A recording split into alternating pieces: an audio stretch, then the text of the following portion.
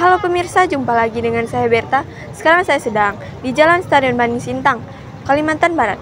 Seperti yang Anda lihat di belakang saya, sedang diadakannya acara Festival Ke- Kelam Tourism yang diadakan pada tanggal 14 September sampai dengan 23 September 2024. Festival Kelam Tourism ini bertujuan untuk mengenalkan pada masyarakat luas tentang pariwisata dan ekonomi kreatif. Pemirsa, sekarang saya berada di salah satu stand di Festival Kelam Tourism ini.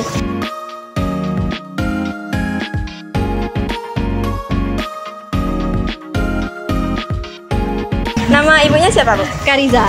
Ibu Karisa ya? Iya. Eh, produk dan tema apa nih, Bu, di stand ini?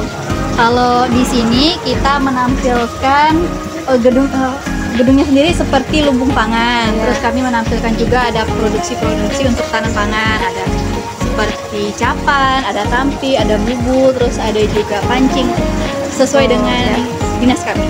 Lalu bagaimana perasaan eh, Ibu dengan dibukanya Festival Kelam Tourism ini?